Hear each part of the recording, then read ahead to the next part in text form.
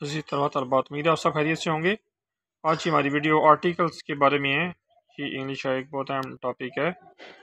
Parts of speech آپ نے سنا ہوگا، بالعموم ایٹ کہے جاتے ہیں ناؤن پروناؤن وغیرہ۔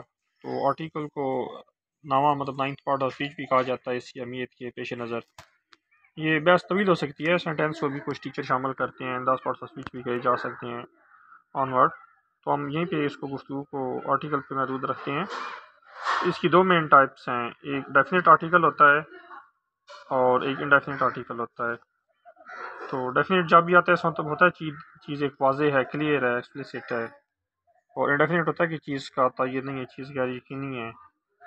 تو ڈیفینیٹ آرٹیکل جو ہے وہ ہوتا ہے دی یا دا اسے جیسے بھی کہہ لیں، اور انڈیفینیٹ جو ہے وہ آ ہے اور این ہے۔ اور این جو ہوتے ہیں وہ ایک ایسی چیز کے ساتھ لگتے ہیں جس کو آپ کاؤنٹ کر سکتے ہیں۔ ایک سنگولر جو ہوتی ہے مثلا بک ہے، اور ٹیبل ہے۔ تو ایسی چیز جو مٹیریل ہونا جن سے اور چیزیں بنتی ہیں، ان ان کے ساتھ نہیں لگاتے۔ جیسے کہ آ ملک ہے ملک سے اور چیزیں بنتی ہیں۔ آ واٹر ہے، ان کے ساتھ اس کو یوز نہیں کرتا۔ تو این اسی طرح سے ہے این اورنج تو اے رین کا استعمال کا جو طریقہ ہے، اس میں ایک آسان ٹپ آپ یہ ذہن میں رکھیں۔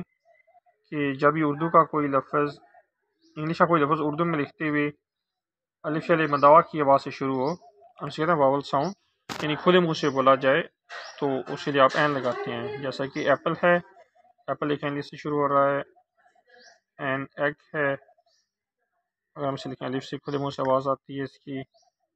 این جو ہے انک پاٹ ہے انک پاٹ دیکھیں، الف سے ہے۔ اور اورنج ہے، اسی طرح سے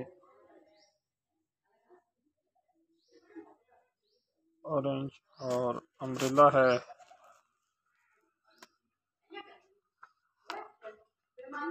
ہیزا کہ اگر کوئی لفظ واول سے شروع ہوتا ہے لیکن اگر وہ یہ ساؤنڈ نہیں دیتا تو اس لیے مطلب این ہی پھر اے لگائیں گے، جیسا کہ آ یونیورسٹی ہے۔ دیکھیں ہم یہ یہ کی آواز دے رہا ہے۔ آ یونیفارم ہے۔ یونی ہوتا ہے ایک جیسا مطلب یونی سیلولر ایک معنی ہوتا ہے۔ یونیفارم ہوتا ہے جس میں سب کی ایک جیسی حالت ہو یعنی سب نے ایک جیسی یونیفارم پہننی ہو۔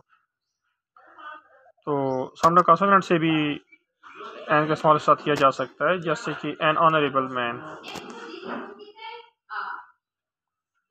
an honourable man تو یہ الف مدا کی آواز ہے، آپ دیکھ سکتے ہیں honourable an honest man honest person ہم کہہ سکتے ہیں۔ آنیسٹ علی مدا کی آواز آ رہی ہے۔ واول ساؤنڈ ہے تو اس لیے این لگائیں گے۔ تو جب بھی کوئی لفظ الف یا اس سے شروع ہو علی مدا کے واسطے تو این لگائیں گے آپ۔ اور اگر بے پہ تیورا جیسے بک بے سے ہے، ٹیبل ٹے سے ہے، ٹیبل اور تو ایسی آواز ہو تو پھر آپ نے اسی لیے اے لگانا ہے۔ اور اس کی مثال اس طرح ہے۔ اور میٹیریل ناؤن جو کہ چیز، جیسے اور چیزیں بنتی ہیں، جیسے کہ ملک سے اور پروڈکٹس بنتی ہیں واٹر سے اور اس وقت اے اور این کو یوز نہیں کرتا۔ امید ویڈیو آپ کو پسند آئی ہوگی۔ اپنا خیال رکھیے گا۔